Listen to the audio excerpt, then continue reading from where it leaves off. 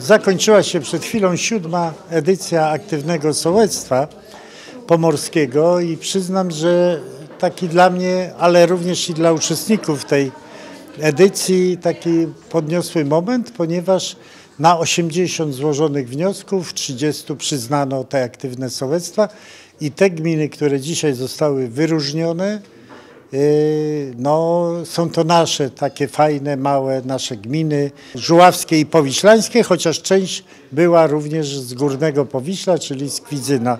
Łączna kwota dofinansowania to około 600 tysięcy złotych.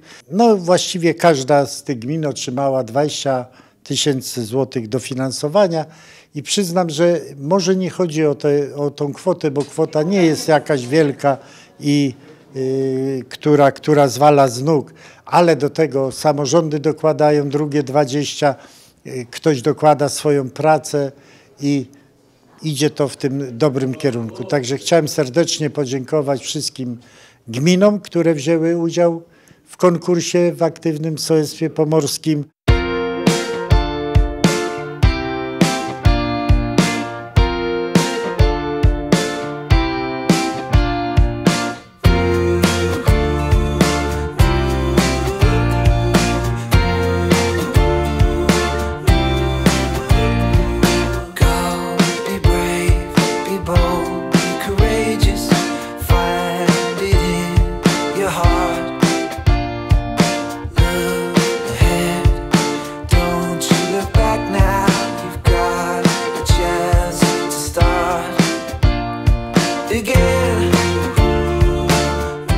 Szanowni Państwo, bardzo się cieszę, że dzisiaj pozyskaliśmy kolejne pieniądze na mm, aktywne sołectwo. 20 tysięcy na realizację zadania zagospodarowanie placu rekreacyjno-integracyjnego przy Świetlicy Wiejskiej w Ząbrowie.